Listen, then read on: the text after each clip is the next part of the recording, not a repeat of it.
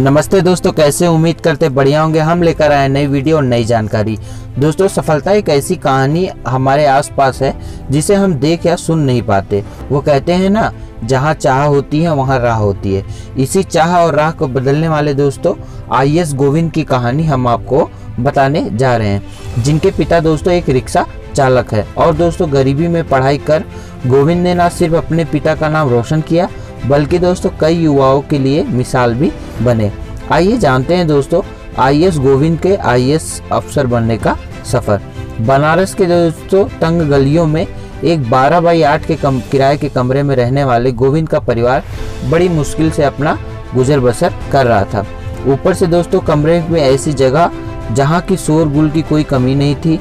वहाँ अगल बगल में मौजूद फैक्ट्रियाँ, जनरेटर, शोर आवाज़ से एक दूसरे को मुश्किलों का सामना करना पड़ता है। यहाँ तक कि दोस्तों, नहाने धोने से लेकर खाने पीने तक का सारा काम इसी छोटी सी जगह पर गोविंद और उनके माता पिता और दो बहनें करती थी। पर दोस्तों, परिस्थिति में गोविंद ने शुरू पढ़ाई की और दोस्तों पढ़ाई पर पूरा ध्यान दिया। अपनी पढ़ाई और किताबों का खर्च निकालने के लिए दोस्तों, वो कक्षा एट और नाइन्थ वालों को ट्यूशन पढ़ाते थे।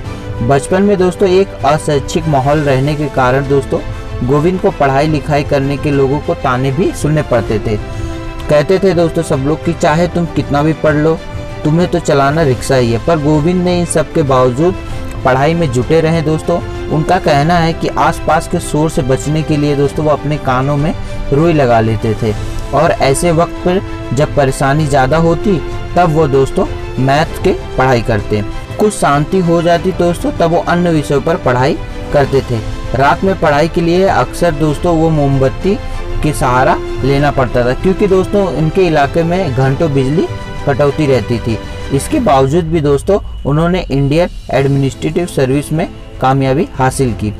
चूँकि वो दोस्तों स्कूल के टॉपर रहे थे और दोस्तों उनके साइंस में काफ़ी वो तेज थे, इसलिए दोस्तों क्लास ट्वेल्थ के बाद लोगों ने उन्हें इंजीनियरिंग करने की सलाह दी। पर दोस्तों, उनके मन में एक ही बार विचार आया, लेकिन जब पता चला दोस्तों कि एप्लीकेशन फॉर्म में दोस्तों पाँच सौ रुपये लगेंगे तो उन्होंने दोस्तों ये आइडिया छोड़ दिया और दोस्तों वो बीएचयू में अपनी ग्रेजुएशन करने लगे। जहाँ सिर्फ़ दोस्तों दस रुपए की फ़ीस मात्र भरकर, यहीं से दोस्तों उन्होंने आई बनने का अपना सफ़र शुरू किया और अंत में वह सफल रहे। तो दोस्तों ये वीडियो कैसी लगी आप कमेंट में ज़रूर बताइएगा।